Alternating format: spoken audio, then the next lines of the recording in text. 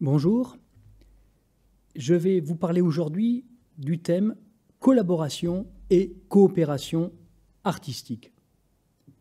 Toute activité humaine, toute pratique artistique fait appel à des collaborations visibles et invisibles. Ce qui m'importe est de penser l'art, ou plutôt les arts, à partir de cette nécessité collaborative. Ma démarche n'est pas celle d'un historien, mais plutôt d'un philosophe de l'art. J'aimerais rendre visibles les collaborations invisibles. J'aimerais penser la diversité des formes de collaboration dont nous verrons des exemples extrêmement paradoxaux. Et puisqu'on parle de collaboration, je profite de l'occasion pour remercier les techniciens de la Bibliothèque nationale de France qui permettent l'enregistrement et la diffusion de cette intervention. Mon propos se déroulera en sept points de longueur très inégale. Premier point, je voudrais vous présenter un crayon de bois, un simple crayon qui n'a ni gomme ni particularité, c'est vraiment le crayon de base. Rien ne paraît plus simple qu'un crayon de bois. Et si on réfléchit à ce qu'il est et ce qu'il a fallu pour le produire, on est un peu effaré. Il y a les matériaux. Il y a du graphite et de l'argile pour la mine, il y a du bois, de cèdre de préférence, il y a de la colle, de la peinture, du vernis pour l'aspect extérieur. Chacun de ces matériaux est prélevé dans la nature, préparé pour pouvoir être utilisé par le fabricant. Le bois va être livré en planchette d'une taille précise, l'argile et le graphite ont été purifiés, la colle, la peinture, le vernis ont été fabriqués. Tous ces matériaux ont été transportés jusqu'à l'usine de crayons. Toutes ces opérations préliminaires exigent des outils et des machines. Et ces outils et ces machines ont eux-mêmes été fabriqués grâce à d'autres outils et à d'autres machines. Ces matériaux, une fois livrés, la fabrication d'un crayon demande une bonne douzaine de machines différentes, puisqu'il s'agit d'effectuer le mélange de graphite et d'argile, ce qui se fait en plusieurs étapes et autant de machines, de transformer ce mélange en mine, opération de tréfilage et de filage. Il faut cuire ces mines pour les solidifier. Il faut rainurer les planchettes de bois. Il faut garnir les planchettes avec les mines il faut recouvrir la première planchette garnie de mine d'une seconde planchette qui est collée dessus. Il faut façonner les crayons de forme hexagonale, il faut peindre et vernir les crayons, il faut enfin les tailler. Chacune de ces machines, permettant chacune de ces opérations, a elle-même été fabriquée avec différents types de matériaux, eux-mêmes élaborés à partir de matières naturelles, etc., etc., etc. Voilà ce que j'appelle les collaborations invisibles, qui pourraient décompter le nombre d'outils, de machines, de gestes de travail nécessaires à la production d'un simple et modeste crayon, qui pourraient décompter le nombre d'ouvriers, d'employés, de techniciens qui, directement, indirectement, sont intervenus dans le processus de fabrication de ce crayon, sans oublier les inventeurs, les ingénieurs qui ont mis au point et amélioré au fil des siècles ces techniques de fabrication. Si toute marchandise est, comme disait Marx, un rapport social, on pourrait dire que tout artefact est un, un enchevêtrement de rapports techniques à mille feuilles de matériaux, d'outils, de machines, de gestes de travail. Mais ce modeste crayon dont nous venons de survoler la très longue et très complexe production, ce modeste crayon est aussi l'instrument de l'architecte, de l'écrivain, du dessinateur, du musicien. Quand un poète, un chorégraphe ou un peintre se saisit d'un crayon de bois pour noter une idée, pour tracer une esquisse. Ce sont des centaines ou des milliers de collaborateurs inconnus, invisibles, qui en amont et sans le savoir ont travaillé pour lui. Et comme il note son idée sur une feuille de papier, elle-même issue d'un très complexe processus de production, je ne vais pas vous raconter l'histoire de la feuille de papier, il faut déjà multiplier par deux, le papier, le crayon, ce nombre de collaborateurs invisibles. Alors, on sera peut-être surpris d'appeler collaborateur de l'artiste l'ouvrier, le technicien, qui a contribué à fabriquer une machine utilisée pour fabriquer un crayon. Crayon qui est présentement dans les mains du musicien qui note à la diable un thème ou un accord. Mais je crois que ce mot de collaborateur est le bon. Et je crois qu'il faut distinguer collaboration et coopération. Et j'en viens au deuxième des sept points que j'ai annoncés, distinction entre collaboration et coopération. Alors, je précise que cette distinction m'est personnelle. De très bons auteurs ne la font pas. Je pense notamment d'une part à Howard Becker, le grand sociologue américain, qui, dans son livre fondamental Les mondes de l'art, réfléchit euh, à ces questions de coopération ou collaboration. Mais il ne distingue pas les deux concepts. Et d'autre part, je pense à un excellent livre de Véronique Goudinou, professeure à l'Université de Lille, qui s'appelle Œuvrer ensemble, et qui, elle non plus, ne fait pas la distinction entre ces deux concepts. Or, je pense que cette distinction est importante. Collaboration, ça veut dire participation au travail, en latin labor. Et coopération, ça veut dire participation à la conception d'une œuvre particulière, œuvre en latin opus. Alors bien sûr, l'étymologie, labor dans collaboration, opus dans coopération, euh, l'étymologie ne prouve rien du tout. C'est plutôt un moyen mnémotechnique pour nous souvenir que la collaboration est plutôt du côté du travail et que la coopération est plutôt du côté de l'œuvre. Euh, la coopération artistique est en principe volontaire, bilatérale ou multilatérale, je veux dire deux ou plusieurs artistes, euh, et elle est inconsciente. Nous verrons des exceptions très importantes. La collaboration ne l'est pas forcément. Je voudrais faire prendre la mesure de l'ampleur des collaborations et des coopérations artistiques et techniques, un peu comme nous venons de le faire pour le crayon de bois. La, ramification des collaborations est comparable à un arbre généalogique ascendant. Tout individu a deux parents, quatre grands-parents, huit arrière-grands-parents, etc., etc. Tout objet technique dépend en amont de dizaines de processus techniques, matériaux, outillages, gestes de travail, dont chacun dépend à son tour de dizaines ou de centaines d'autres processus techniques, etc. Plus on remonte vers l'amont, moins sans doute la part prise par chacun des collaborateurs est importante dans le produit final. Mais cela n'est pas non plus totalement frais. Un défaut minime, ou qu'il se situe dans la série ascendante des productions techniques, peut entraîner un dysfonctionnement majeur. Une mine de crayon qui casse au mauvais moment va interrompre le mouvement et briser la ligne que traçait la main du dessinateur. Aussi, l'artiste veut-il des outils et des matériaux sûrs, du bois qui ne se fendira pas, un piano qui tiendra l'accord, un vernis qui ne jaunira pas, un ciseau qui ne s'ébréchera pas. Dans notre exemple, la collaboration ascendante est d'ordre technique. Euh, dans d'autres cas, la collaboration ascendante est déjà d'ordre artistique. Par exemple, la fabrication des pinceaux, des pinceaux ou des couleurs destinées aux peintres. La collaboration s'oriente alors vers la coopération. J'en viens au troisième de mes sept thèmes, qui est une réflexion très brève et sobre sur la théorie du génie. Pourquoi je parle du génie? Parce que la notion de génie est à l'opposé de l'idée de coopération. C'est l'idée la plus contraire qui soit à celle de collaboration et de coopération. Il n'en reste pas moins que c'est une théorie très intéressante. Je vais évoquer donc rapidement l'idée romantique du génie. Mais je rappelle tout de même qu'il existe euh, un concept classique du génie qui est différent du concept romantique. Au sens classique du terme, le génie, c'est le talent particulier d'un individu, ingenium en latin. C'est son esprit, c'est ce qui est propre à un individu. Euh, mais le génie, au sens classique du terme, mettons au XVIIe siècle, ce n'est pas la force impérieuse brisant la règle et l'individu souverain euh, qui dicte ses règles à l'art. Non, ça n'est pas ça. La notion classique de génie est beaucoup plus sobre et modeste. Même si, même euh, dans la conception classique, euh, le génie peut être inspiré. C'est l'inspiration ou la part d'inspiration de l'ingenium classique qui fait qu'il y a tout de même une certaine continuité entre le génie au sens classique et le génie au sens romantique. Mais j'en viens au sens romantique de la notion de génie, puisque c'est le génie romantique qui est au plus opposé à l'idée de coopération.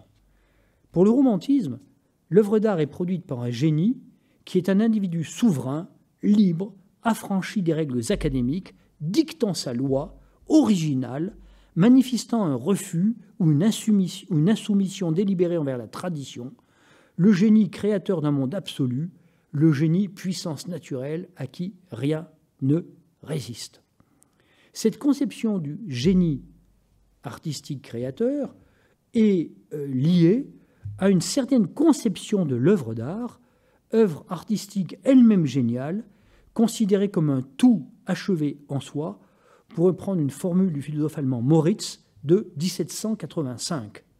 L'œuvre d'art dans cette conception romantique ou pré-romantique est un monde qui n'obéit qu'à ses propres lois, de même que son auteur, le génie, est un individu qui n'obéit qu'à ses propres lois. Alors, il est un philosophe tout à fait rationnel et rationaliste qui, au XVIIIe siècle, a donné une théorie philosophique du génie. C'est Kant, dans son livre La critique de la faculté de juger en 1790. Cette doctrine est compliquée, je vais donc la présenter de manière euh, très ramassée, simplement pour euh, donner une consistance philosophique propre à ce concept de génie. Kant considère que nos jugements sur le beau, sur les choses belles, qu'elles soient naturelles comme une fleur ou artificielles comme un tableau, que ces jugements donc reposent sur un sentiment personnel. Mais que ce sentiment personnel, c'est moi qui éprouve que cette fleur est belle, ou que ce tableau est beau, ce jugement personnel prétend à l'universalité, c'est-à-dire que je pense que c'est pas seulement beau pour moi, mais que c'est beau pour tout le monde. Euh, pourtant, je ne peux jamais démontrer le caractère universel de ce jugement. Cette fleur est belle pour tout le monde, mais je ne peux pas le prouver. Et si autrui n'est pas d'accord avec moi, j'aurais d'ailleurs du mal à le convaincre. On a donc euh, une situation assez paradoxale où nous proposons un jugement qui a une validité en principe universelle, mais qui pourtant ne peut pas être démontré. Ce n'est donc pas comme un euh, jugement scientifique ou mathématique qui peut être démontré. Là, je ne le peux pas. Et partant de cette analyse du jugement de goût, euh, c'est-à-dire du jugement comportant le mot beau ou sublime euh, dans son énoncé, Kant en vient à l'œuvre d'art. Comment est-elle produite? L'œuvre d'art n'est pas un effet naturel, c'est un opus, c'est une œuvre de la liberté humaine. Mais en tant qu'opus, œuvre de la liberté, elle doit suivre des règles. Euh, autrement, ce serait le fruit du hasard. Donc l'œuvre d'art suit des règles. Mais en tant qu'elle est artistique, cette œuvre, ces règles qui ont permis la production de l'œuvre ne peuvent pas être conceptualisées. Autrement, ce serait un objet technique que tout le monde pourrait faire euh, en suivant les règles. Euh, l'œuvre d'art ne se ramène pas à un objet technique précisément parce que il n'y a pas de règles qui permettent de faire à coup sûr une belle sonate ou un beau tableau. Euh, Kant est donc dans un certain embarras dont il va sortir avec le concept de génie. Comment comprendre que l'on puisse produire selon des règles un objet qui va susciter une adhésion euh, chez le spectateur ou l'auditeur, mais cette adhésion est d'une nature telle qu'elle ne peut pas être démontrée, quoi qu'il faille présumer qu'elle est le fait de tout être humain. Voilà exactement la situation dans laquelle nous sommes le concept de génie sort, nous permet de sortir de l'impasse. C'est la fameuse définition du paragraphe 46 de la critique de la faculté de juger. Le génie, écrit Kant, est le talent, le don naturel qui donne ses règles à l'art. Puisque le talent, comme faculté productive innée de l'artiste, appartient lui-même à la nature, on pourrait aussi s'exprimer ainsi. Le génie est la disposition innée de l'esprit par laquelle la nature donne les règles à l'art. Les beaux-arts doivent nécessairement être considérés comme des arts du génie. Fin de citation. Alors, euh, le génie kantien euh, possède quatre caractères. Il est original. L'artiste génial euh, n'imite pas, il invente. Deuxièmement, il est exemplaire. Parce que, dit Kant, euh, l'originalité peut être absurde, elle peut être de mauvais goût, elle peut être extravagante et stupide. Euh, il faut donc que la production artistique du génie, sans être produit de l'imitation, soit elle-même imitable, c'est-à-dire qu'elle soit exemplaire. Troisièmement, le génie est obscur à lui-même, puisqu'au fond, le génie, c'est la nature qui parle dans l'artiste. La nature parle dans l'artiste, mais sans que l'artiste maîtrise cette nature qui parle en lui. Et par conséquent, il y a quelque chose d'obscur dans l'artiste même, pour l'artiste même, dans les procédés qu'il suit. L'artiste ne peut pas décrire exactement par quel procédé un thème lui est venu à l'esprit, euh, euh, des formes pour son tableau lui sont venues à l'esprit, etc. Il n'en sait rien. Quatrième et dernier point très important, euh, quand dit le génie ne concerne que les beaux-arts. c'est une précaution utile car euh, la notion de génie est une notion dangereuse, puisque le génie se présente comme une puissance naturelle qui donne la règle et qui n'a de compte à rendre à personne. Si on admettait qu'il y a des génies en dehors des beaux-arts, ce serait extrêmement inquiétant euh, pour la vérité, pour la liberté, etc., etc. Le génie ne concerne que la production des œuvres d'art et rien d'autre. Alors, cette position kantienne, qui est extrêmement vigoureuse, et je l'ai ramassée vraiment au minimum, euh, cette position kantienne pose différents problèmes euh, que je ne vais pas développer, car ce n'est pas l'objet de notre travail collectif, mais euh, je dirais simplement ceci. Le paradoxe de cette règle qui fait que le génie produit une œuvre d'art, le paradoxe de cette règle, c'est qu'on ne peut pas la conceptualiser. Cette règle, elle est donnée d'un bloc, elle est immanente à l'œuvre particulière, elle n'est pas séparable d'elle, elle ne peut pas être modifiée ni être euh, réaménagée, et l'artiste qui reprendrait lui-même cette règle s'imiterait lui-même, et par conséquent, il cesserait d'être génial au moment où il s'imiterait lui-même. Ce sont des choses qui arrivent.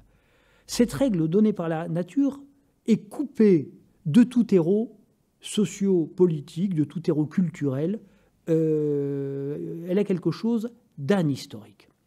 Alors, Kant ne méconnaît cependant pas complètement la dimension historique euh, de la production des œuvres d'art. Kant dira, euh, au paragraphe 47 du même livre, La critique de la faculté de juger, que la fréquentation d'un génie peut permettre au disciple de réveiller en lui son propre génie. Le génie ne se transmet pas d'un maître à un disciple. Mais le génie qui sommeille chez le disciple peut être éveillé par la fréquentation d'un maître dans l'atelier, par exemple. C'est l'atelier du peintre euh, dont nous allons reparler, euh, dans lequel euh, travaillent le peintre, Rembrandt, Raphaël, bon, et puis des aides dont certains deviendront peut-être à leur tour de grands peintres. Mais enfin, la théorie du génie met quand même l'accent sur euh, le caractère insulaire de l'artiste, sur un artiste qui est au fond une sorte de moment de nature euh, qui va euh, produire, non sans travail, c'est pas facile d'être un artiste, hein, quand le dit explicitement, il faut travailler beaucoup, hein. je ne dois pas oublier cela, mais enfin, l'artiste est seul avec son génie et son œuvre. Or, on ne peut pas s'en tenir à cette insularité. Et j'en viens à mon quatrième thème, qui est nulle œuvre d'art n'est une île. Nous sommes partis de l'analyse rapide de la dimension collaborative de tous les objets techniques. Or, les œuvres d'art sont d'abord des objets techniques. Ils sont ensuite des œuvres d'art, mais ils sont d'abord des objets techniques. Et donc, ils sont le produit d'une collaboration, je l'ai dit. Euh, l'invention la plus originale et la plus personnelle est tissée d'échos invisibles de réminiscence et de ce qu'on appelle en théorie de la littérature de l'intertextualité. C'est-à-dire qu'un texte existe en référence à d'autres textes antérieurs qu'il reprend, qu'il transforme, qu'il discute. Bon. Euh, nous sommes ici dans l'espace de toutes les collaborations ou coopérations que j'ai appelées invisibles. Et à la valorisation romantique du génie répond de façon un peu symétrique euh, la dévalorisation sociologique du génie et même de l'artiste isolé. Euh, j'évoque, je cite euh, Howard Becker, dont j'ai déjà nommé le livre, Les mondes de l'art. Howard Becker écrit ceci.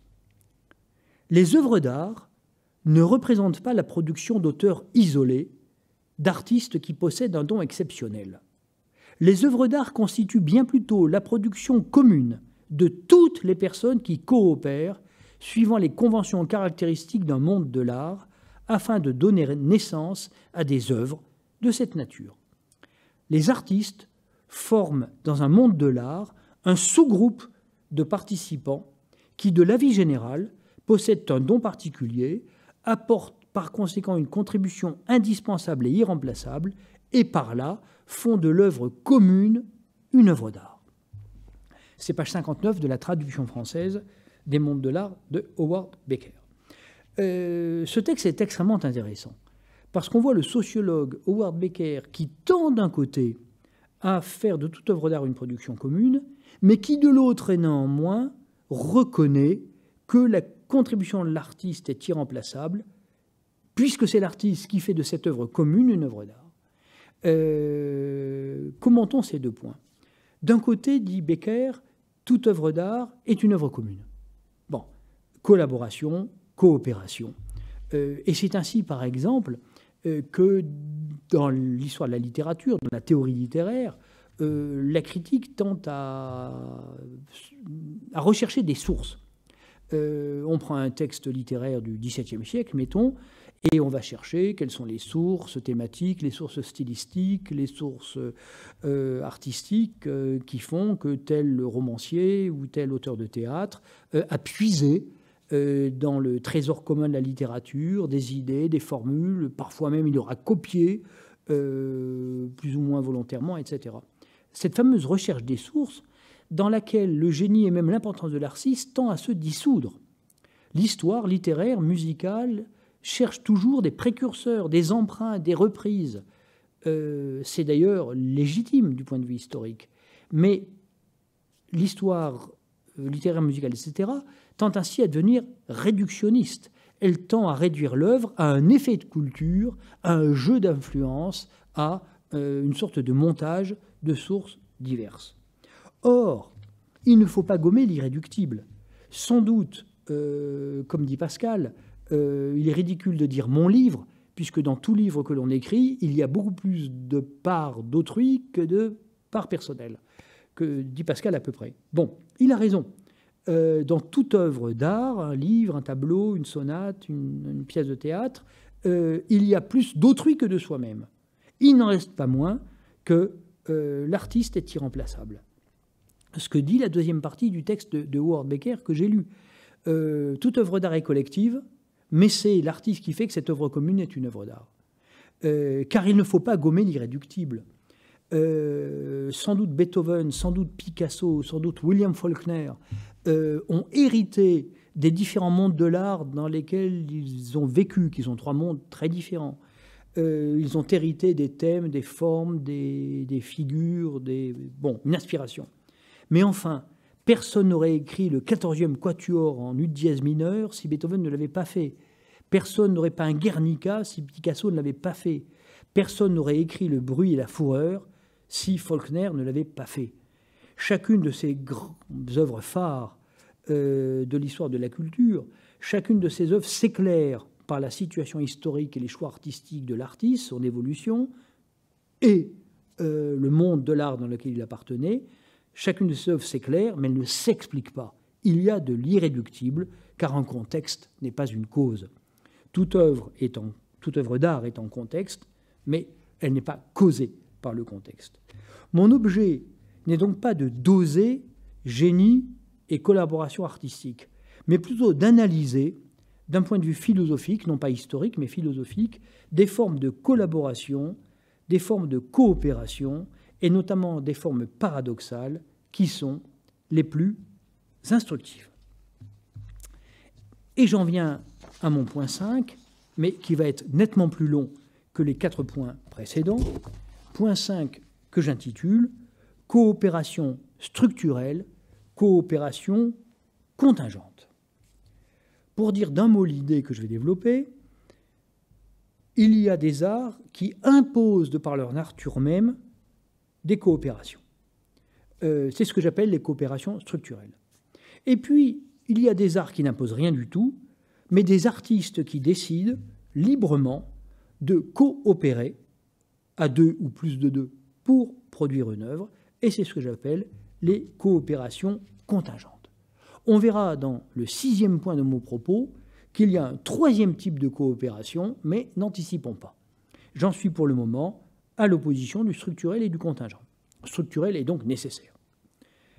J'appelle donc coopération structurelle des coopérations qui sont imposées par la nature même des arts considérés. Et je parle bien de coopération et pas seulement de collaboration il y a coopération quand au moins deux artistes sont nécessaires pour que l'opus, que l'œuvre, soit complète. Bien. Et cette coopération est structurelle si c'est la nature de l'art considéré qui l'impose. Or, euh, il y a des arts qui sont assez nombreux d'ailleurs, qui par leur nature même mobilisent plusieurs intervenants. Alors ce n'est pas le cas de la peinture, ce n'est pas le cas de la sculpture. Le sculpteur peut être tout seul et le peintre peut être tout seul. En revanche, l'homme de théâtre ou le musicien, sauf exception, euh, très rare, ne peut pas être tout seul. bien sûr, un homme de théâtre qui improviserait un, monologue, euh, une pièce à un seul personnage, ou un musicien qui improviserait euh, tout seul avec son instrument, n'aurait besoin de personne d'autre. Mais ce n'est pas le cas général. Au théâtre, les coopérations structurelles concernent le casting, le jeu des acteurs, les décors, les costumes, la machinerie, la lumière, la mise en scène, plus toutes les collaborations techniques et institutionnelles indispensables à la bonne marche d'un théâtre, par exemple la billetterie, le nettoyage de la salle, l'intervention d'un juriste dans certains cas, etc. À l'opéra, on retrouve exactement les mêmes contraintes, plus les choix d'interprétation musicale, les instrumentifs, les chanteurs, le chef d'orchestre, etc.. Donc pour monter une pièce de théâtre, pour euh, monter un opéra, il faut mobiliser un nombre de collaborateurs et de coopérateurs extrêmement nombreux. Je donne de nouveau la parole à Howard Baker. Un premier extrait euh, des pages 37-39 de son livre. Je cite Tous les arts reposent sur une large division du travail. C'est évident pour ce qui concerne les arts du spectacle. Un film, un concert, une pièce de théâtre ou un opéra ne peuvent pas être l'œuvre d'une seule et unique personne qui ferait tout d'un bout à l'autre. La division du travail n'implique pas que toutes les personnes associées à la production de l'œuvre travaillent sous le même toit, comme les ouvriers d'une chaîne de montage, ni même qu'elles vivent à la même époque.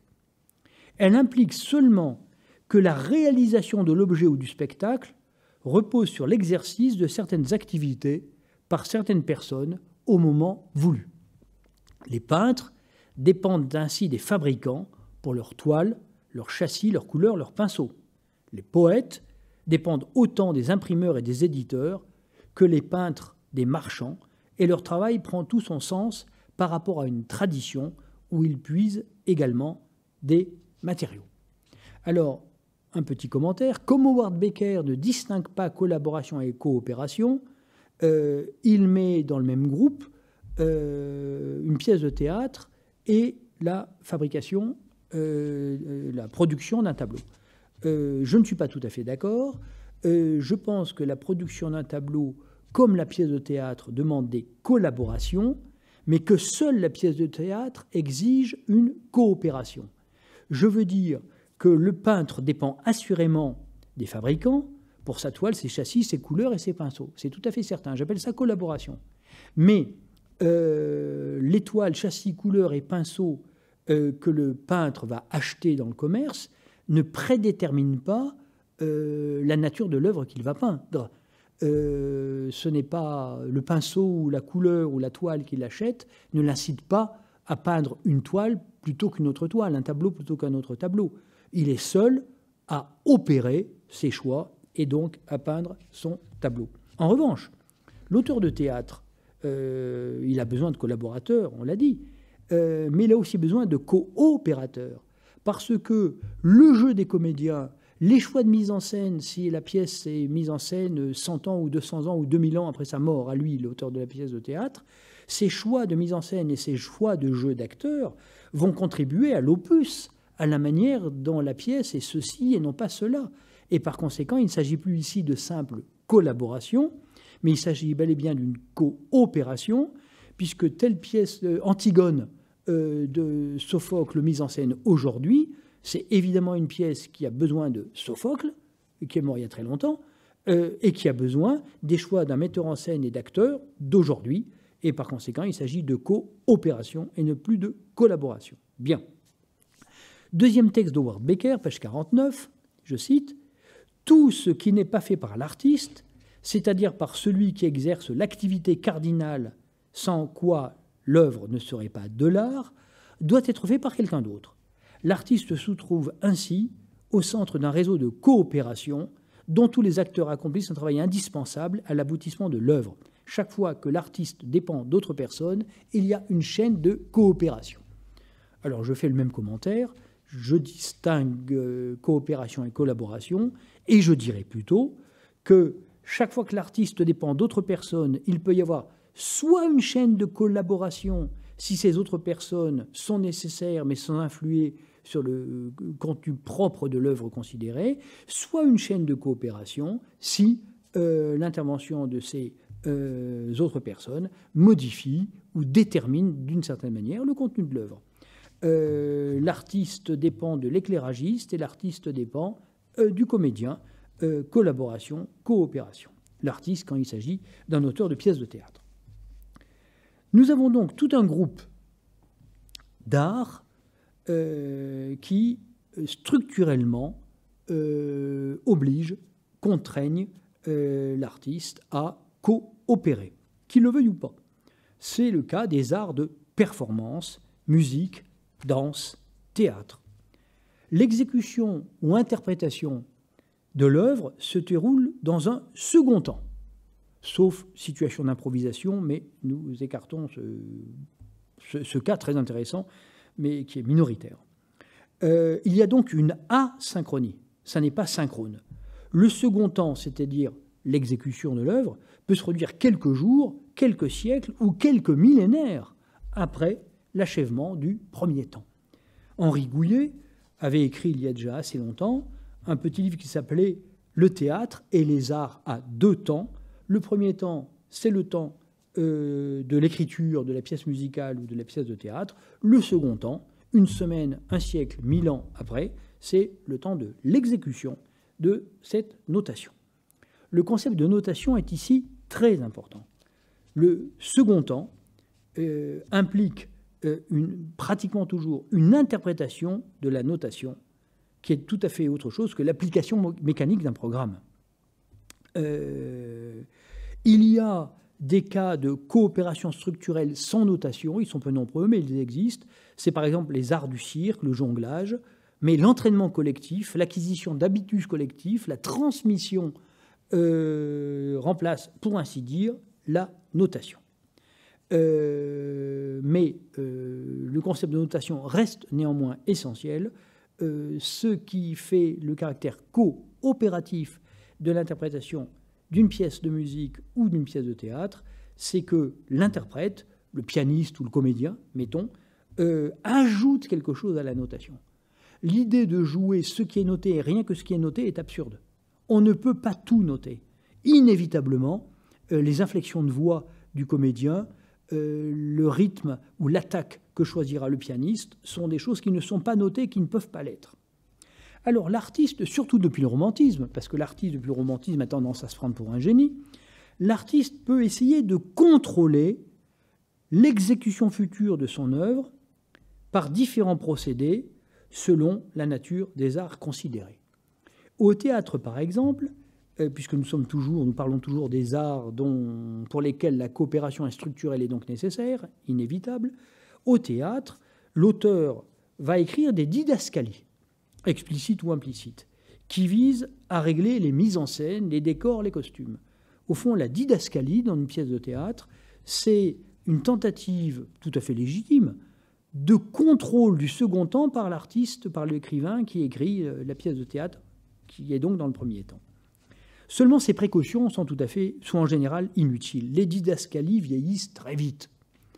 Euh, si on prend les didascalies de Wagner, par exemple, euh, on voit qu'elles ne peuvent pas être respectées. Si vous prenez les didascalies de Tannhäuser, de Wagner, elles sont très nombreuses. Wagner écrit exactement comment il voit la scène, quel costume, quel décor, quelle lumière, comment il faut faire, quel mouvement opérer. Euh, c'est impossible. C'est pas impossible matériellement, simplement que ça ferait rire tout le monde. Euh, c'est comme si on continuait à habiller les Valkyries dans le ring de Wagner avec le costume qu'imaginait Wagner. ça tuerait la représentation. et puis d'ailleurs, ces didascalies n'empêchent nullement le metteur en scène de faire ce qu'il veut. il peut même délibérément contredire le sens obvi, le sens évident de l'œuvre d'art. C'est ainsi que le metteur en scène Robert Carsen a fait une mise en scène de Tannhäuser de Wagner qui fait de Tannhäuser, du personnage de Tannhäuser, un peintre, alors que dans l'opéra de Wagner, il s'agit d'un musicien. Et cette transformation du musicien, du chanteur, du Minnesänger, en peintre, entraîne des modifications esthétiques considérables pour l'opéra en question. Je prends juste cet exemple pour dire que les didascalies euh, sont souvent un vœu pieux. L'auteur de la pièce de théâtre ou de l'opéra dit il faut faire comme ça, mais euh, 100 ans euh, après, euh, le metteur en scène fait ce qui lui plaît. Pour le théâtre, disais-je, les didascalies sont un effort assez vain pour l'auteur de contrôler l'exécution future.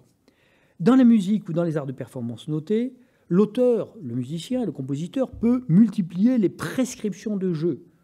Euh, il y a un développement de la précision concernant les vitesses, les nuances, les attaques. Avec l'invention du métronome au début du 19e siècle, le, le compositeur peut dire exactement à quelle vitesse il veut qu'on joue sa pièce. Mais ces tentatives de contrôle ne sont que très partiellement efficaces, puisque le principe même de la notation est que tout ne peut pas être noté. Il faudrait une notation de rang 2 pour expliquer comment lire les notations de rang 1. On en trouve d'ailleurs. Euh, par exemple, le musicien français François Couperin, au début du XVIIIe siècle, explique euh, dans un texte écrit en français euh, la manière dont il faut jouer les agréments, les tris, les ports de voix, les trémolos, etc., qui sont dans ces pièces pour clavecin. Mais cette notation de rang 2 est elle-même susceptible de diverses interprétations. On n'en sort pas. Et donc, même si le musicien, le compositeur essaye de brider un peu, de limiter la liberté de manœuvre de son interprète futur, euh, qui va être inévitablement co-opérateur de l'œuvre complète, savoir de l'œuvre musicale jouée, même si le musicien, le compositeur essaie de brider sa liberté, il n'y arrivera pas. Cette coopération de rang 2 est elle-même euh, plus ou moins contraignante et entraîne parfois d'importantes conséquences sur la vie des individus. Je pense par exemple euh, à la troupe de théâtre ou de danse quand elle est permanente, à l'orchestre quand il est permanent, euh, ou au quatuor à cordes. Euh, le principe d'un quatuor et qui doit être le plus permanent possible. C'est quatre musiciens et il faut le plus rarement possible remplacer un musicien par un autre. Et c'est donc une coopération de rang 2 entre les musiciens qui vont interpréter un une pièce musicale notée. Euh, pour être tout à fait précis, supposons le 14e quatuor de Beethoven que j'évoquais tout à l'heure. Euh, ce quatuor, comme toute pièce musicale, fait l'objet d'une nécessaire coopération postérieure. C'est ce qui se produit quand on joue aujourd'hui, 200 ans après, un quatuor de, de Beethoven. Bon, qui va donc contribuer à opérer, si on peut dire, cette œuvre, à la faire une œuvre complète. Euh, ça, c'est la coopération obligatoire de rang 1. Et la coopération de rang 2, elle est entre les quatre musiciens du quatuor, euh, de la formation instrumentale qu'on appelle quatuor, et qui vont travailler ensemble, et donc coopérer ensemble, s'écouter, se répondre, s'entraîner, répéter. Voilà. Euh, c'est tout ça qui permet à l'auditeur d'aujourd'hui d'entendre le 14e quatuor. L'exécution d'un opéra, d'un ballet, d'une symphonie, suppose un réseau de collaboration et de coopération de nature et d'importance extrêmement diverses, mais tout imbriqué, tout nécessaire. Philosophiquement, le point décisif est que quelque chose de l'œuvre d'art, prise dans sa plénitude, échappe à son auteur officiel et premier, qui n'est finalement jamais que co-auteur. Cela entraîne des conséquences. C'est étrange de dire que Beethoven est co-auteur du 14e quatuor, parce que tout le monde admet qu'il en est l'auteur. Et pourtant, euh, c'est vrai, si on pense que cette œuvre magnifique n'est complète que lorsqu'elle est effectivement jouée euh, par des musiciens qui ont fait forcément des choix artistiques de vitesse, d'intensité, de contraste, etc., qui fait sonner à nos oreilles cette œuvre de Beethoven. Voilà, c'était le premier point euh, de cette section, à savoir les, de cette section 5, à savoir les coopérations structurelles et nécessaires. J'en viens au second point de cette section 5, les coopérations contingentes, qui sont des coopérations qui ne sont nullement imposées par la nature de l'art considéré, ni euh, par la nature de l'œuvre visée, mais par le choix libre d'un artiste, ou plutôt de deux et plusieurs artistes, qui ont décidé de travailler ensemble. C'est l'objet principal du livre de Véronique Goudinou que j'ai évoqué, œuvrer à plusieurs. Cette manière d'œuvrer à plusieurs euh, peut prendre plusieurs formes. Et la forme qu'analyse Véronique Goudinou, c'est la forme des regroupements d'artistes qui ne sont pas encore exactement la coopération au sens plein. Ce que Véronique Goudinou appelle des regroupements d'artistes, ce sont des groupes d'artistes qui décident librement de se regrouper par affinité. Ce sont les Nazaréens, ce sont au XIXe siècle les pré-raphaélites, c'est l'école de Barbizon. Euh, il y en a beaucoup. C'est le groupe d'Ibruque, on pourrait multiplier les exemples. Euh, des artistes, souvent des plasticiens, euh, qui décident de se regrouper pour un certain temps dans un lieu unique, c'est un temps qui peut durer plusieurs années. Ce sont des regroupements d'ailleurs à géométrie variable, chacun est libre hein, d'entrer, de sortir, etc. Mais ces regroupements d'artistes ne produisent pas des œuvres communes. C'est important. Chacun des artistes de l'école de Barbizon crée ses propres œuvres. Euh, dans une ambiance euh, intellectuelle, artistique, spirituelle même commune, mais chacun est responsable de ce qu'il fait. Ce n'est pas encore une œuvre coopérative, c'est euh, ou alors c'est une coopération plutôt de l'ordre de l'inspiration, si on veut. voilà.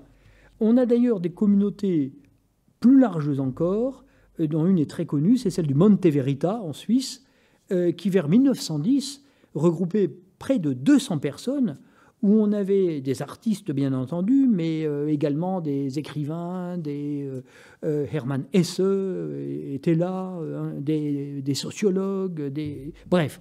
et ces communautés étaient à la fois artistiques, poétiques et parfois un petit peu religieuses, avaient même un petit côté New Age, comme on dirait aujourd'hui. Euh, cette communauté du Monte Verita était euh, extrêmement importante euh, dans l'histoire intellectuelle et artistique du premier XXe siècle, avant la guerre de 1914. Ces regroupements d'artistes sont très intéressants. mais encore une fois, on n'est pas exactement dans la pleine coopération. Et il y a encore une étape à franchir pour arriver à la coopération pleinement contingente. Je m'explique. Euh, entre les nécessités structurelles de coopération en tenant à la nature de certains arts, comme euh, musique, théâtre, etc., et le choix libre de coopérer, il existe des cas intermédiaires dont les ressorts sont économiques. Le trop-plein des commandes oblige parfois l'artiste à déléguer une partie plus ou moins importante de son travail euh, parce qu'il ne peut pas, à lui tout seul, remplir toutes les obligations de ses commandes. C'est les propres des artistes qui ont un immense succès. C'est le cas de Rembrandt, c'est le cas de Rubens, c'est le cas de Van Dyck, c'est le cas de Velázquez, de bien d'autres peintres à succès. À la fin de sa vie, Raphaël avait monté une véritable PME artistique. Travailler seul est un choix, ce n'est pas une évidence sociale. Euh, je lis un extrait d'Ernst Gombrich de son livre L'art et son histoire. Recevant une commande pour une église ou pour un grand de ce monde, Rubens se contentait souvent de peindre une petite esquisse, laissant à ses élèves et à ses aides la tâche d'exécuter la toile à l'échelle demandée. Alors seulement, la préparation et le gros de la peinture achevée selon ses directives, il reprenait le pinceau, peignant ou retouchant ici un visage, là une soierie, adoucissant tel contraste trop brutal. Il savait que son pinceau pouvait faire vivre tout ce qu'il touchait, et c'est, un fait, et fait le secret du génie de Rubens. Il avait l'art quasi magique de donner la vie, une vie intense et généreuse. Alors ça, c'est très intéressant. On voit concrètement dans l'atelier comment l'artiste débordé par les commandes va opérer en deux temps. D'abord une esquisse, ensuite euh, ses aides coopèrent, pour le coup, en réalisant le tableau à l'échelle désirée. Et dans un troisième temps, donc, Rubens réapparaît euh, et il corrige, il peint les choses les plus difficiles, le visage par exemple, il modifie, etc. Et euh, il livre un tableau signé Rubens. Bien. Euh, ceci est un cas intermédiaire entre la coopération structurellement contrainte et la coopération libre. J'en viens vraiment aux coopérations contingentes à proprement parler. Ces coopérations contingentes sont en général synchrones. Je veux dire, elles se produisent dans le même temps. Nous avons vu que les coopérations structurelles pouvaient être asynchrones quand l'exécution était euh, très postérieure à euh, l'écriture de la pièce euh, ou de la sonate. les coopérations contingentes et volontaires sont synchrones au sens où elles se passent dans un temps commun partagé, même si ce temps est long. Il faut parfois des mois ou des années pour mener à terme une œuvre commune. Mais enfin, c'est le temps. Ces coopérations libres et contingentes peuvent concerner tous les arts la littérature, le théâtre, l'architecture, la musique, la peinture, la sculpture. Et ici, il se pose la question, pourquoi un artiste fait-il appel à un autre artiste du même art que lui pour réaliser une œuvre qu'il pourrait faire tout seul? Pourquoi deux peintres plutôt qu'un seul? Ces coopérations ne mettent-elles pas en cause l'idée de l'aspiration, l'idée du projet intérieur que l'on considère souvent comme essentiel à l'art? On pourrait multiplier les exemples. Ces pratiques de coopération et leur incroyable diversité éclairent à mon avis en profondeur les pratiques artistiques et le sens de l'art. Les coopérations contingentes sont incroyablement nombreuses, mais l'histoire de l'art a tendance à les sous-estimer et à les gommer. L'histoire de la culture simplifie. Je prends un exemple chez Roger Chartier, qui écrit ceci. Il parle euh, de l'écriture de pièces de théâtre euh, en Angleterre. Je lis. Sur les 282 pièces de théâtre documentées entre 1590 et 1609, les deux tiers ont au moins deux auteurs, et souvent beaucoup plus. Un trait frappant est l'écart entre ce pourcentage très élevé d'œuvres écrites en collaboration et celui beaucoup plus modeste des pièces attribuées pour les mêmes décennies à plusieurs auteurs dans les documents divers dont nous disposons, à savoir 15% pour 1590-1599, 18% pour 1600-1609. La différence renvoie au fait que dans les éditions imprimées, comme peut-être dans la mémoire des spectateurs, les pièces écrites à plusieurs mains se trouvent finalement assignées à un seul auteur. Fin de citation. Alors, ce passage est extrêmement intéressant. D'abord, vous voyez, 1590 à 1609, ça fait 20 ans. En 20 ans, on a trace de 282 pièces de théâtre en Angleterre. C'est beaucoup. Or, de ces 282 pièces de théâtre, on a pu montrer que les deux tiers avaient au moins deux auteurs et souvent beaucoup plus. Euh, or, euh, dès l'époque, pas maintenant, hein, mais dès l'époque, euh, on attribue à 15% seulement de ces pièces ou 18% euh, d'avoir plusieurs auteurs, alors qu'en fait, c'est 65%. Ce qui veut dire que dès l'époque, il y a une simplification qui se fait. Dans la mémoire des spectateurs, dans les éditions imprimées, dans le monde de la culture de l'époque, les pièces écrites à plusieurs mains, on les attribue à un seul. Ce qui fait que, évidemment, de nos jours, il faut tout le travail euh, très savant et très minutieux des historiens pour restituer à chacune de ces pièces de théâtre la pluralité de ses auteurs. Or, on est ici dans un cas de coopération libre. Un homme seul ou une femme seule peut écrire une pièce de théâtre. Si on se met à deux, trois, quatre, c'est parce qu'on en a envie, ou c'est peut-être aussi parce qu'il y a une forte demande, comme dans l'atelier de Rubens. Euh, mais enfin, il s'agit d'une coopération contingente et libre. Si on examine les coopérations contingentes entre artistes, on découvre euh, l'importance des couples et l'importance des fratries l'importance des couples amoureux, l'importance des fratries, des groupes de frères et sœurs. Euh, comme si une nécessité subjective de nature affective, amoureuse ou familiale venait relayer l'absence de nécessité structurelle de la coopération. J'ajoute que ce n'est pas toujours le cas. Nous savons que Jean-Sébastien Bach a eu plusieurs fils euh, qui ont été de grands musiciens, notamment Carl Philippe Emmanuel Bach, mais pas seulement. Or, les fils de Jean-Sébastien Bach, tous, enfin ceux qui étaient musiciens, n'ont jamais coopéré entre eux pour faire une œuvre commune. Donc, il n'y a aucune nécessité à tout ça. Alors, je vais survoler de manière euh, sommaire quelques cas euh, de couples ou de fratries ayant délibérément décidé de coopérer pour produire des œuvres. en littérature, on a les frères Goncourt. Jules de Goncourt, Raymond de Goncourt, qui écrivent ensemble un roman, Germini la Certeux, en 1865, et qui surtout écrivent leur journal, jusqu'à la mort de Jules de Goncourt. ensuite, Edmond est tout seul. On a un cas un peu plus particulier, c'est l'écrivain et son ghostwriter, son aide, euh, comme Alexandre Dumas et Auguste Maquet, qui a écrit une partie des romans de Dumas. Il y a même eu un procès d'ailleurs, puisque Auguste Maquet voulait faire valoir ses droits. Euh, c'est un cas un peu particulier, mais c'est une forme de coopération. Euh, ou encore, un cas très particulier, ce qu'on appelait à l'époque du surréalisme les cadavres exquis. vous en connaissez le principe. Euh, un écrivain écrit une phrase sans que les autres le voient, il plie le papier. Le deuxième écrit une deuxième phrase sans savoir ce qui a été écrit avant, il plie le papier. Le troisième écrit une phrase ou quelques mots, etc.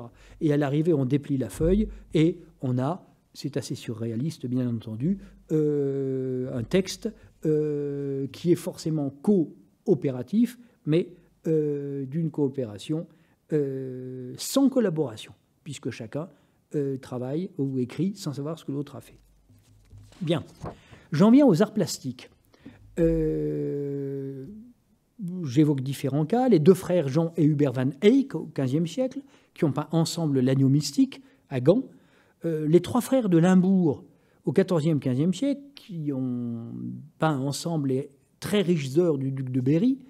Euh, on pense de nos jours à Pierre et Gilles, qui est un couple cette fois-ci amoureux. Euh, où on pense à un autre couple, Gilbert et Georges, Gilbert et Georges, qui ont également continué d'ailleurs à travailler. Et puis, euh, un couple qui me paraît particulièrement intéressant, c'est Christo et Jeanne-Claude, euh, nés tous les deux en 1935. Jeanne-Claude est décédée en 2009 et Christo est décédé cette année même, au mois de mai, en 2020, et qui ont inventé cet art merveilleux de l'empaquetage, l'empaquetage du Pont Neuf, euh, et l'empaquetage de euh, l'Arc de Triomphe à Paris était prévu pour cette année. Il a été différé pour des raisons sanitaires. Et s'il a lieu, euh, ce sera certainement une œuvre magnifique. voilà des exemples de plasticiens. les frères Van Eyck, les frères de Limbourg, de Limbourg pardon, Pierre et Gilles, Gilbert et Georges, Christo et Jeanne-Claude, des plasticiens qui décident de travailler ensemble, mais qui sont liés par des liens extra-artistiques. Euh, qu'ils soient euh, familiaux ou amoureux. Euh, c'est assez intéressant. En musique, on trouve beaucoup moins d'exemples. Handel, au XVIIIe siècle, aurait fait harmoniser certaines de ses œuvres par ses élèves. Ce pouvait être également pour des raisons de commande. C'était un musicien extrêmement sollicité et très réputé. donc, ce serait une structure un peu semblable à celle des ateliers de peintre que nous avons évoqués. Mais euh, le cas est assez rare. Euh, il est beaucoup moins fréquent en musique qu'il ne l'est en peinture ou en littérature, enfin au théâtre, de faire appel euh, à des coopérateurs. C'est un peu énigmatique et je ne sais pas très bien pourquoi. Je précise, pour pas qu'il y ait d'équivoque, que l'achèvement par un compositeur numéro 2 d'une œuvre laissée inachevée par un compositeur numéro 1 ne relève pas de la coopération volontaire. On sait par exemple que le requiem de Mozart, inachevé à la mort de Mozart, a été terminé par Sussmayer. Euh, mais ça n'est pas une coopération volontaire, puisque Mozart n'a jamais souhaité que son requiem soit euh, terminé par quelqu'un d'autre que lui. Euh, bien. ceci pour la musique classique. En revanche, le jazz ou les musiques populaires sont très généralement des arts coopératifs. Euh, par la nature même euh, de César. Et je voudrais citer un groupe de musique populaire que j'aime bien, qui s'appelle les Ogres de Barbac, qui vient de fêter ses 25 ans et qui est constitué de deux frères et de deux sœurs. C'est un cas de fratrie assez exceptionnel. Euh, ce sont d'ailleurs des musiciens assez intéressants. tous sont polyinstrumentistes. mais qu'un groupe de deux frères et de deux sœurs, depuis 25 ans, euh, continuent à travailler, à produire, à jouer de la musique euh, ensemble, est un cas assez rare. On trouve également des fratries ou des couples euh, amoureux au cinéma. Je parle bien ici des coopérations dans la même fonction. parce que le cinéma est un art qui impose des, coopérations structurelles, bien entendu. Hein. Euh, il faut énormément de monde pour faire un film. Mais là, je parle bien de coopération dans une même fonction et par conséquent d'une coopération libre et qui n'est pas structurellement imposée par l'art considéré. C'est le cas des frères Dardenne, c'est le cas des frères Cohen, ou c'est le cas du couple formé par Jean-Marie Straub et Daniel Huillet, euh, dont les productions cinématographiques sont extrêmement intéressantes. J'en viens au point 6 qui concerne les collaborations, coopérations, excusez-moi, les coopérations unilatérales et contraintes. Jusqu'à présent, nous avions vu deux types de coopérations, les coopérations structurelles imposées par la nature de l'art, théâtre par exemple, les coopérations libres et contingentes qui ne sont imposées par rien du tout, mais euh, qui sont décidées par euh, le choix libre d'artistes qui sont souvent en relation affective en dehors même de cette coopération. Nous découvrons dans cette section 6 euh, une forme de coopération totalement différente et je dirais même paradoxale. Et ce sont les cas les plus intéressants pour une approche philosophique de la notion. Coopération contrainte, coopération unilatérale, ces formulations peuvent sembler parfaitement contradictoires. La réalité que désigne ce concept est pourtant banale, mais on n'y fait jamais attention. Les coopérations structurelles dont nous avons parlé tout à l'heure sont multilatérales par définition. Un compositeur sait bien qu'il aura besoin non pas d'un seul interprète, sauf s'il écrit une sonate pour piano, mais de beaucoup d'interprètes. Un auteur de théâtre sait qu'il aura besoin de beaucoup de comédiens. Bien. Les coopérations contingentes et libres que nous avons ensuite examinées étaient volontaires, elles étaient bilatérales ou parfois multilatérales, deux ou trois ou quatre artistes qui s'associent ensemble pour faire une œuvre. Mais après les coopérations bilatérales nécessaires et les coopérations bilatérales contingentes, nous envisageons donc des coopérations unilatérales et qui sont imposées. Mais qu'est-ce que peut être une coopération unilatérale? Ça paraît contradictoire. Je donne tout de suite un exemple. Un musicien qui prend un poème et qui décide de le mettre en musique. Le poète n'a rien demandé. Le musicien s'est emparé d'une œuvre qui existait et il a décidé d'en faire le matériau pour une œuvre différente. On a bien un cas de coopération et cette coopération est unilatérale. Il y a coopération unilatérale et imposée quand un artiste décide d'utiliser en tout ou en partie une œuvre déjà existante d'un autre artiste sans demander l'avis de l'artiste auteur de l'œuvre première. L'œuvre numéro 1 devient ainsi matériau ou élément pour une œuvre numéro 2. Le point décisif est que l'œuvre première est faite, elle est achevée, parfois depuis très longtemps, elle n'a besoin de rien, elle ne demande rien, elle est complète et autosuffisante. Or, elle va être transformée en matériau par le choix de l'artiste numéro 2 qui s'en empare. Est-ce que cette transformation est une dégradation ou une promotion? C'est une question ouverte sur laquelle nous reviendrons. Alors, il arrive euh, qu'un artiste euh, décide de réutiliser une de ses propres œuvres, auquel cas euh, il est avec lui-même. Je donne juste un exemple qui est très spectaculaire d'ailleurs, c'est Monteverdi, qui avait écrit pour l'Orfeo en 1607, le premier opéra de l'histoire de l'humanité, une toccata d'ouverture euh, pour instruments euh, de cuivre, euh, sac-bout, trompette, etc., et qui sonne de manière tout à fait remarquable. Bien.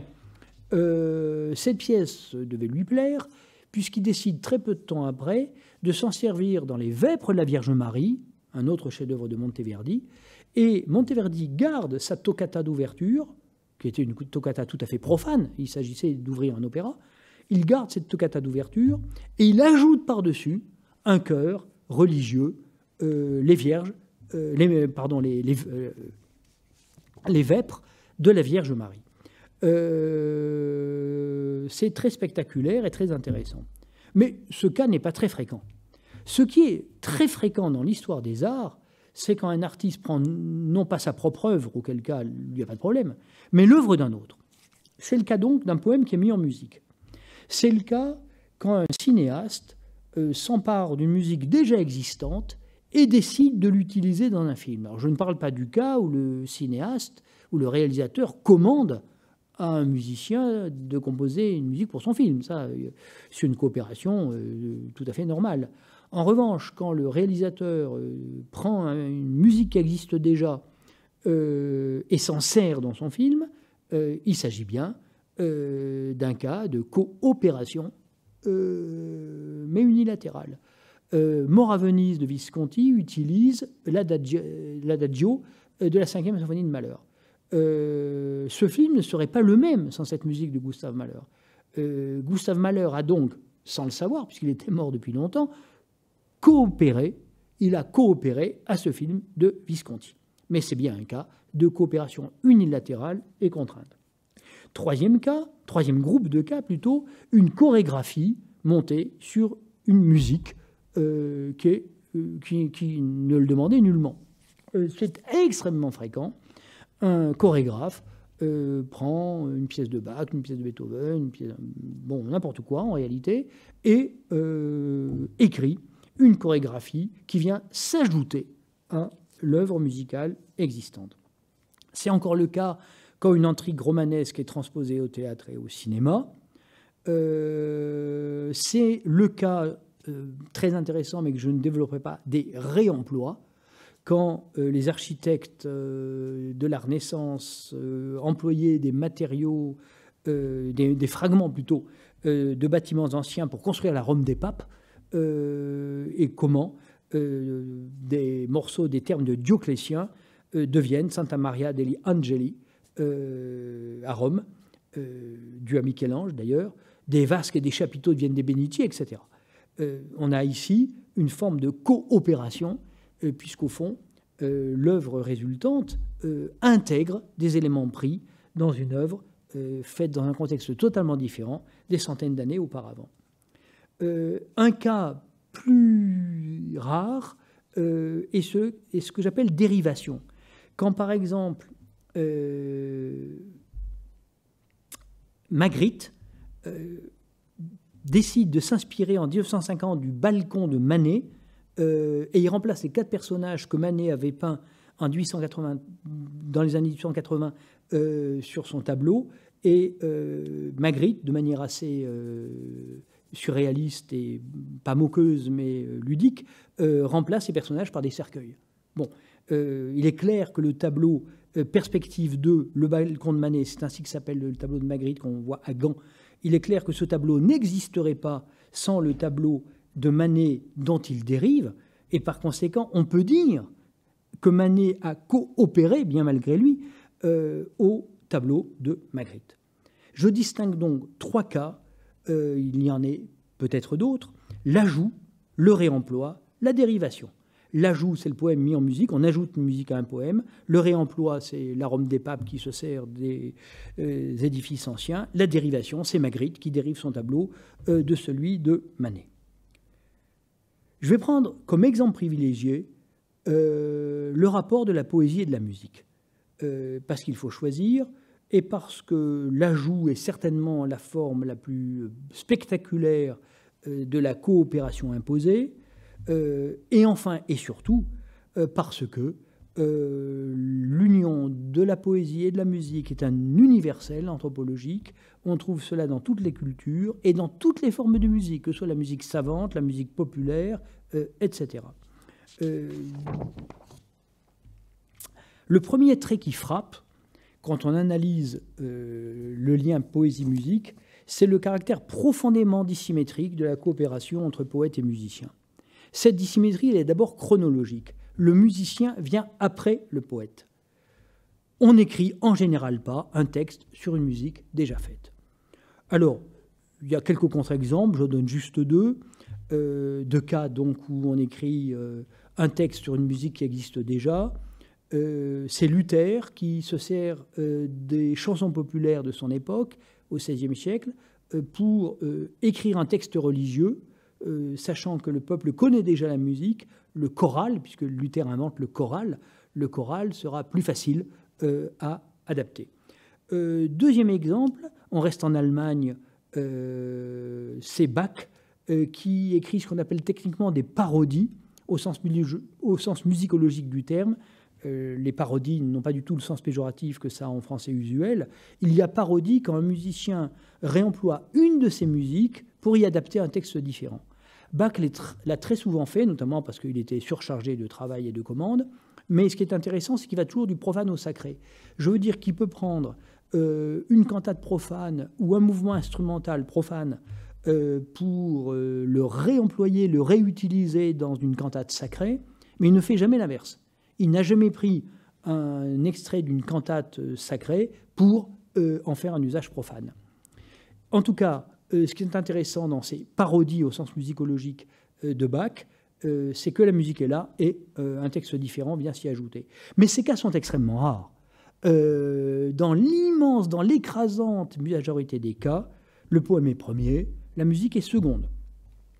Donc, dissymétrie temporelle euh, le musicien vient après le poète. Cette dissymétrie chronologique ou temporelle est aussi plus, fondamentalement une dissymétrie d'intention. Dans le cas le plus courant, le poète écrit ses vers sans penser qu'il puisse être mis en musique. Son poème est à ses yeux une œuvre complète, autosuffisante, un tout achevé en soi, euh, pour reprendre la formule de Moritz que j'ai déjà évoquée, ou un système organique comme euh, dit Boris de Schleutzer. Bref, pour le poète qui l'a écrit, le poème n'a besoin de rien, et surtout pas de musique, pour exister, pour fonctionner comme œuvre. Et voilà pourtant qu'un musicien s'empare de ce poème et lui ajoute de la musique. Cette coopération unilatérale et contrainte peut prendre des formes diverses. Mais je compte en examiner les deux il y a un troisième cas qui est intéressant, mais que je n'aurai pas le temps de développer. C'est quand le poète et le musicien sont d'accord. C'est le cas, par exemple, de Jean Ferrat et Aragon. Euh, vous savez que Jean Ferrat a mis en musique beaucoup de poèmes d'Aragon avec l'accord du poète. Euh, je ne sais d'ailleurs pas plus précisément comment s'est passée la coopération entre eux. mais les cas philosophiquement, je ne dis pas artistiquement, mais philosophiquement les plus intéressants, c'est quand le poète est indifférent à la mise en musique de ses poèmes, et plus encore intéressant quand le poète est hostile. Euh, les deux questions euh, qui se posent sont celles de la volonté du poète, accepte-t-il ou non qu'on mette son poème en musique, et euh, celui de la résistance artistique du poème, le poème se laisse-t-il mettre facilement ou non en musique? Ces deux formes de résistance sont d'ailleurs indépendantes l'une de l'autre. On peut imaginer un poète qui accepte joyeusement qu'on mette un de ses poèmes en musique, mais le poème ne s'y prête pas. Ou bien à l'inverse, on peut imaginer un poème qui appelle de lui-même sa mise en musique, mais le poète le refuse. Et on peut imaginer tous les cas intermédiaires possibles. Toute coopération suppose une convergence de volonté. Cette convergence de volonté semble être encore plus nécessaire quand il s'agit de coopération. Or, la mise en musique d'un poème suppose de nombreuses décisions. Par exemple, quelle mélodie choisir, bien sûr, mais cette mélodie va-t-elle être harmonisée et comment? Euh, Quel sera le rythme? Quelle sera l'instrumentation? Euh, Le musicien choisira-t-il de respecter les mots ou au contraire de les démembrer? Vous savez que souvent, euh, un même mot du poème est répété trois, quatre fois, coupé en petits morceaux, etc. Bon. et puis, deux décisions très importantes. Le poème sera-t-il chanté par une voix d'homme ou une voix de femme? Sera-t-il confié au soprano, à l'alto, au ténor, à la basse? Et plus encore, euh, sera-t-il chanté par une seule voix ou par plusieurs? Euh, Les madrigaux du XVIe siècle, euh, confiés à un groupe de 3, 4, 5 ou 6 solistes, chantant des parties différentes de manière polyphonique, le chant d'un poème que plus tard on traitera de manière monodique, c'est-à-dire une seule voix accompagnée euh, par un instrument ou un groupe d'instruments. Ces décisions sont de très grande importance.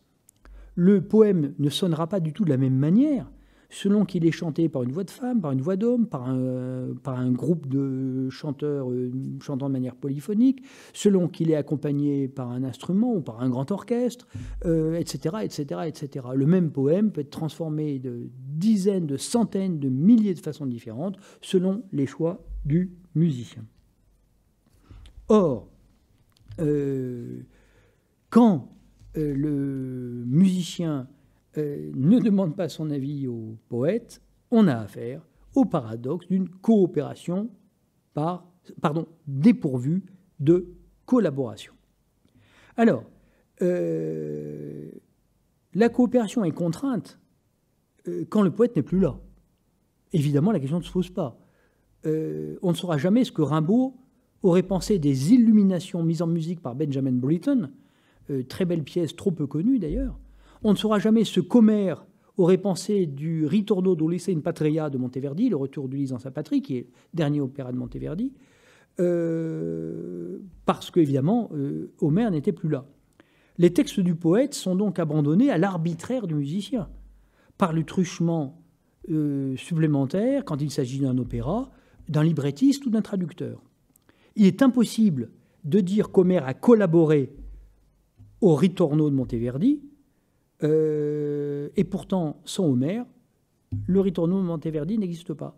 Il est impossible de dire que Rimbaud a collaboré aux illuminations de Benjamin Britten, et pourtant, sans le texte de Rimbaud, donc sans Rimbaud, euh, cette, œuvre de Benjamin Britten n'existe pas.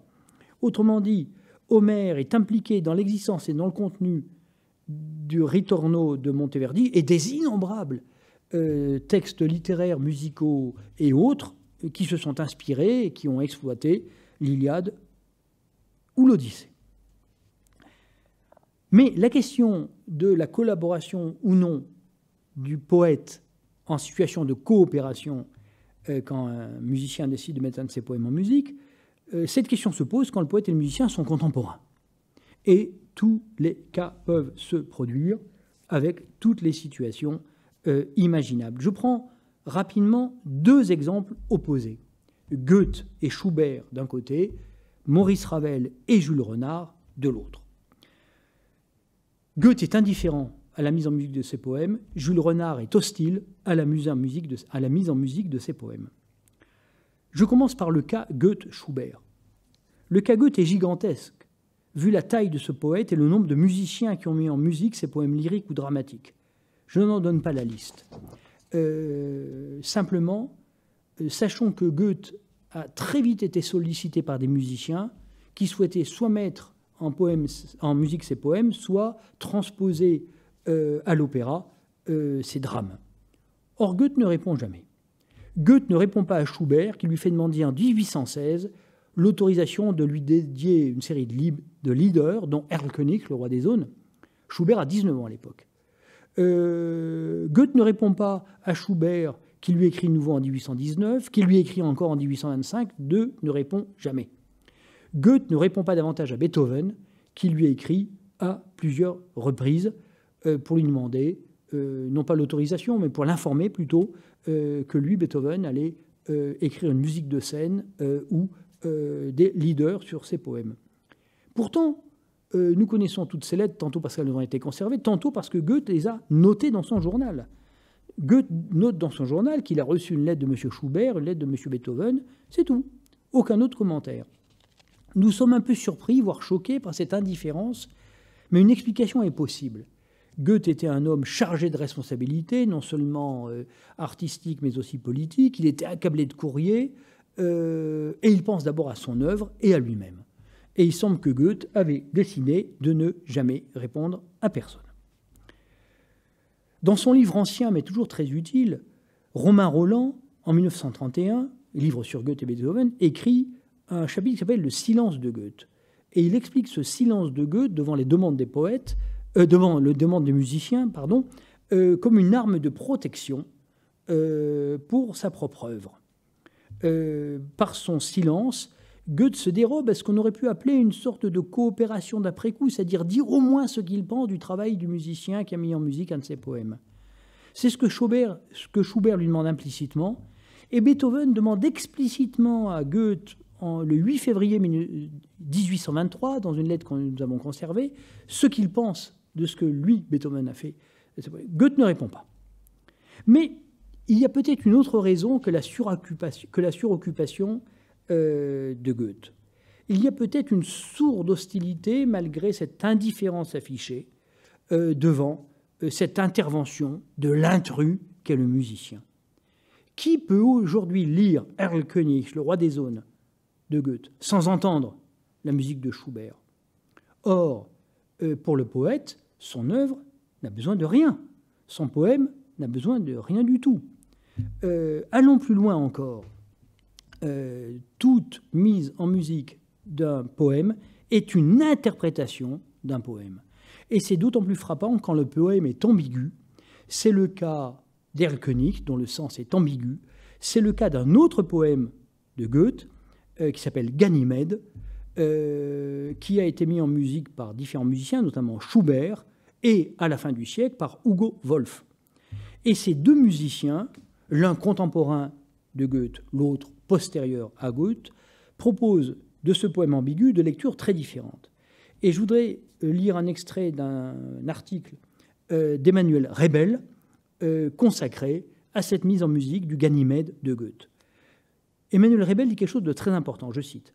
La particularité d'une lecture musicale est qu'elle dissocie deux fonctions d'ordinaire réunies dans la lecture parlée le chanteur assure la seule dimension phonatoire de la lecture, sans en maîtriser la dimension herméneutique qui appartient exclusivement au compositeur. En effet, c'est ce dernier et non le chanteur qui, règle le rythme de la diction. Dans cette perspective, il est bel et bien le véritable lecteur du texte. Lui seul, le musicien, est maître du rythme, non pas seulement au sens où il rythme sa musique, mais au sens où il organise le mouvement de la parole dans la musique ce texte est extrêmement important.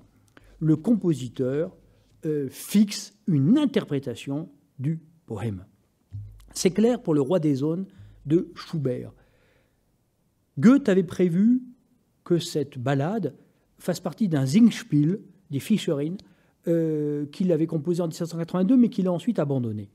Et l'image ou la perspective qu'avait Goethe est la suivante, il l'écrit lui-même, c'est Goethe qui parle. Quelques cabanes de pêcheurs dispersées sous de grands eaux. Il fait nuit, tout est calme. Quelques pots sont disposés autour d'un petit feu. Des filets et des instruments de pêcheurs sont suspendus tout autour. Dortchen, occupé à son travail, commence à chanter. Et ainsi continue la balade. Euh, c'est une atmosphère euh, qui n'est pas dramatique. Euh, cette petite ballade chantée par Dortchen occupé à son travail dans le Singspiel de, Goethe, euh, c'est une chanson qui a un côté cruel, il y a un enfant qui meurt à la fin, mais comme le sont souvent euh, les chansons populaires. mais ça n'est rien de plus grave que ça. or, lorsque Goethe entend Le roi des eaux de Schubert, il entend tout autre chose.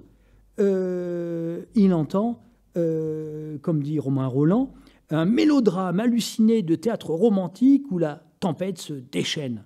Goethe est agacé de la disproportion de ses éclairs et de ses tonnerres avec son idylle champêtre. Ça, c'est le commentaire de Romain Roland. Et je crois qu'en effet, le roi des zones de Schubert propose une interprétation parmi d'autres possibles, mais une interprétation euh, du poème de Goethe, et le poète proteste un peu. Deuxième cas que je vais traiter très rapidement, euh, ce sont les histoires naturelles de Jules Renard. Euh, magnifique texte que je vous incite à lire si vous ne le connaissez pas. C'est une série de petits poèmes en prose, euh, plats d'humour, de tendresse, euh, un tout petit peu de cruauté parfois. c'est magnifique. Maurice Ravel a été attiré par les histoires naturelles de Jules Renard. Et il les en musique, enfin il en met cinq en musique, le pan, le grillon, le cygne, le martin pêcheur, la pintade, en 1906, donc d'après les histoires naturelles de Jules Renard, qui date de 1894. Et euh, Maurice Ravel, qui était jeune à l'époque, euh, va rendre visite en 1906 donc à Jules Renard, et euh, il lui dit, on sait tout ça par le journal de Jules Renard, qu'il veut mettre son œuvre en musique, euh, et ça n'intéresse pas du tout Jules Renard. Et puis, euh, en 12 janvier 1907, le renard reçoit Maurice Ravel, euh, qui est venu lui rendre visite, et je lis le journal de Jules Renard. Monsieur Ravel, le musicien des histoires naturelles, insiste pour que j'aille écouter ce soir ses mélodies. Je lui dis mon ignorance et lui demande ce qu'il a pu ajouter aux histoires naturelles. Mon dessein n'était pas d'y ajouter, dit-il, mais d'interpréter. Mais quel rapport? Dire avec de la musique ce que vous dites avec des mots quand vous êtes devant un arbre, par exemple. Je pense et je sens en musique, et je voudrais penser et sentir les mêmes choses que vous. Je suis sûr de mon interprète, elle est admirable. J'ai coupé un peu le texte, c'était un petit peu long. Euh, Jules Renard n'ira pas. Il enverra sa femme écouter le soir même la création des histoires naturelles de Maurice Ravel d'après ses propres textes, euh, mais il refusera d'y aller. Euh, au fond, Ravel impose à Jules Renard une coopération que l'écrivain ne désirait pas et ne comprend pas. Euh, Renard, dans son journal, rapporte les propos de Maurice Ravel, mais il ne les commente pas. Un point important quand même, c'est que Jules Renard donnera son autorisation pour la publication des mélodies de Ravel. Dans la mesure où la publication des mélodies comporte le texte et qu'il y a un droit d'auteur du poète sur son texte, Jules Renard aurait pu s'opposer à cette publication, il ne l'a pas fait. Dans une lettre extrêmement brève qui tient en une phrase, il donne l'autorisation à Maurice Ravel de publier ces cinq mélodies, donc forcément les cinq textes. Mais c'est tout. Un point très important qui nous mène à la conclusion, euh, les quatre éditions des histoires naturelles de Jules Renard parues du vivant de l'auteur comportent toutes des illustrations, et des illustrations de quatre artistes très différents et qui ne sont pas des moindres. En 1896, Félix Vallotton. En 1899, Toulouse-Lautrec. En 1904, Pierre Bonnard. En 1909, Benjamin Rabier. Ces quatre artistes, très connus à l'époque et encore maintenant, ont illustré euh, quatre éditions des histoires naturelles de Jules Renard, et on peut penser que Jules Renard a accepté ces éditions, euh, illustrations. Euh, autrement dit, Jules Renard n'est pas dérangé au contraire par l'illustration, mais il est dérangé par la mise en musique. C'est très intéressant car l'illustration, elle reste extérieure au poème. Elle ne l'attaque pas de l'intérieur. Alors que la musique est une interprétation qui, de l'intérieur, vient transformer euh, le poème euh, pour toutes les raisons que nous avons dites. Et ceci euh, m'amène à la conclusion de notre réflexion d'aujourd'hui. je l'ai évoqué par anticipation en disant il y a une résistance du poème, il y a une résistance du poète. C'est la question de savoir si la mise en musique d'un poème est pour le poème une promotion ou pour le poème euh, une dégradation. On peut distinguer deux pôles dans le rapport d'un musicien au poème qu'il veut mettre en musique. À une extrémité, il considère le poème comme un objet, un objet précieux qu'il veut mettre en valeur, ou pour ainsi dire, la musique est au service du poème. Mais à l'autre extrémité, il peut considérer le poème comme un matériau commode, utile, précieux sans doute, mais précieux parce qu'il se prête bien à ce que veut faire le musicien un matériau qu'il va exploiter à ses propres fins. Ces deux visées, en réalité, se mêlent la plupart du temps dans des proportions variables, mais elles doivent être soigneusement distinguées. Euh, le musicien met en musique un poème qu'il aime, en général. Ce serait quand même très surprenant qu'un musicien euh, prenne un texte qu'il déteste pour le mettre en musique. Euh, il y a donc une marque de respect envers le texte qu'il choisit de mettre en musique. Mais en même temps, il est un créateur. Et ce texte qu'il met en musique, c'est une source, c'est un point de départ, c'est une inspiration, c'est un matériau. Mais il se l'approprie, forcément, c'est la vie normale de l'art. Et par conséquent, euh, le musicien ne peut pas considérer le poème de la manière dont le poète le considère. C'est absolument impossible. Le musicien va se livrer sur le poème qu'il met en musique à un certain nombre d'opérations. Or, ces opérations, le poème s'y prête plus ou moins bien. Il y a une résistance euh, du matériau poétique comme il y a une résistance du matériau physique. Alors, euh, la résistance du matériau physique, elle est de nature physico-chimique, c'est la résistance que le marbre oppose au sculpteur et il n'y a pas trop d'ambiguïté là-dessus. Le type de résistance qu'un poème peut opposer au musicien est plus compliqué à comprendre, car c'est une résistance qui n'est pas physico-chimique, c'est une résistance qui est culturelle et, si on veut, spirituelle. Euh, certains poèmes seraient trahis par certains types de musique. Ça n'empêche pas le musicien de le faire éventuellement, mais c'est quelque chose comme une violence faite euh, aux matériaux poétiques euh, qu'il a euh, choisis. le musicien peut décider de démembrer le poème, de le vider de son intelligibilité, de son sens, de son rythme et même de son audibilité. S'il fait hurler certains passages du poème de telle sorte qu'on n'entende rien, qu'on ne comprenne rien, ou s'il fait au contraire chuchoter à voix tellement basse que l'on n'entendra pas davantage. Alors bien sûr, un musicien probe ne fait pas n'importe quoi avec un texte donné. D'ailleurs, nombreux sont les musiciens athées qui ont écrit des messes ou des requiem parfaitement respectueux du texte religieux qu'ils mettaient en musique et à la, valeur duquel ils n'adhéraient pourtant pas. Bon. Euh, mais différents critères sont à prendre en compte pour déterminer le degré de plasticité et de résistance d'un poème le matériau poétique me paraît offrir une assez forte résistance à sa connexion avec le matériau musical, une résistance sans doute plus forte que celle d'une intrigue romanesque euh, ou théâtrale euh, qui serait euh, transformée en opéra, par exemple, par l'intermédiaire d'un livret. un choix très important de la part du musicien concerne la prosodie du poème. Faut-il la respecter strictement ou peut-on librement euh, sans affranchir euh, C'est une question particulièrement compliquée. Les situations sont tellement diverses et il me faut conclure.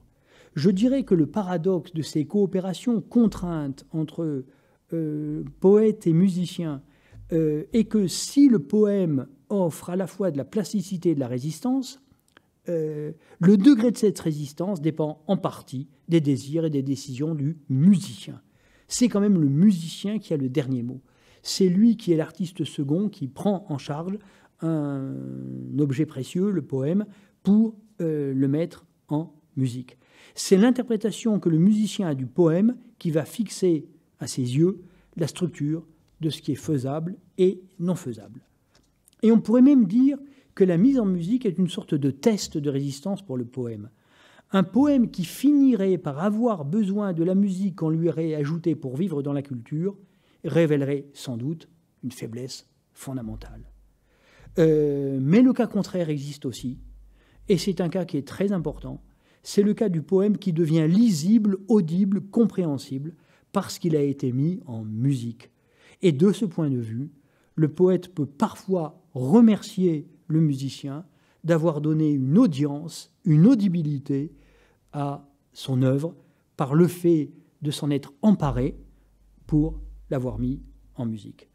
Voilà un nombre très divers et très important de coopérations euh, structurelles et nécessaires, contingentes et libres, contingentes et contraintes ou imposées entre des arts et des artistes différents. Retenons-en l'idée que décidément nulle œuvre n'est une île euh, et que les habitants de l'œuvre sont souvent extrêmement nombreux. Je vous remercie.